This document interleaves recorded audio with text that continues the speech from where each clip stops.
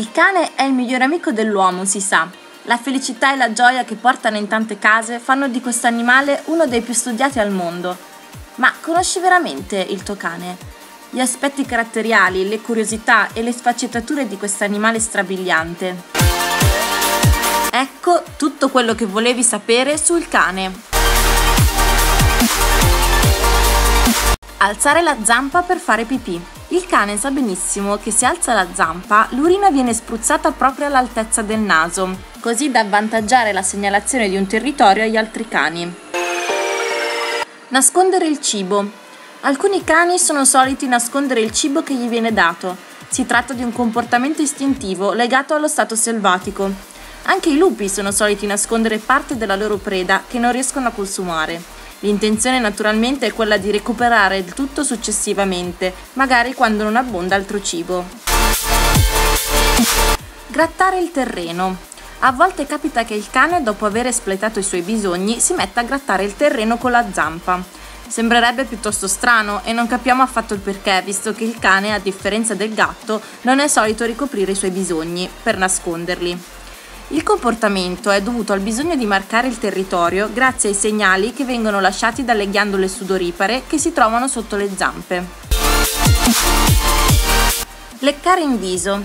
È un atteggiamento tipico soprattutto dei cuccioli, quello di saltarci addosso quando ci vedono e di leccarci in viso.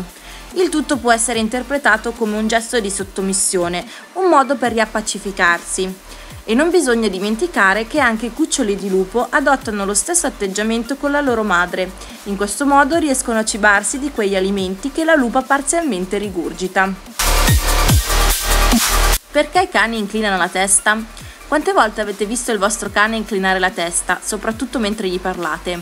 Secondo gli studiosi, i cani inclinano la testa per cercare di catturare un suono, soprattutto quando è acuto. Se ci mettiamo a parlare con i cani con un tono interrogativo ad una distanza di un metro o un metro e mezzo al di sopra della loro testa, la loro reazione naturale per cogliere quello che stiamo dicendo è proprio quella di inclinare la testa. Un altro studio ha dimostrato che il cane inclina la testa a causa della conformazione dell'orecchio, che riesce a cogliere frequenze inaccessibili all'udito umano. Di conseguenza, per cogliere queste frequenze che produciamo con determinate parole, cercano di sintonizzarsi meglio, inclinando la testa come si fa per le antenne. La coda tra le zampe. Quando un cane è impaurito, mette la coda tra le zampe. Questo comportamento istintivo serve ad impedire agli altri cani di annusare la sua regione anale, che gli consentirebbe di riconoscerlo. In pratica, proprio come noi se facciamo qualcosa di sbagliato abbiamo l'istinto di andarcene e far finta di nulla per non essere individuati come colpevoli, lui ha l'istinto di mettere la coda tra le zampe per non farsi riconoscere e non lasciare il suo odore alla portata degli altri cani.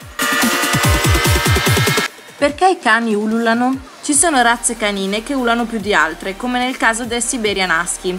Nelle altre razze di cani l'ululato ha perso parzialmente l'antico significato, ossia quello di trasmettere la propria posizione al branco. Può accadere però che i cani ululano soprattutto se vengono lasciati soli in casa. È la situazione di isolamento che spinge quindi i cani di oggi a ululare come naturale desiderio ancestrale di voler comunicare con i suoi simili, anzi con il proprio branco e quindi con l'uomo che spesso viene riconosciuto proprio come il suo riferimento principale. Quando i cani ululano alle sirene rispondono al loro suono in quanto alcune di esse hanno delle frequenze molto simili all'ululato. Perché i cani si rotolano sulle carogne? Si tratta di un comportamento del cane atavico.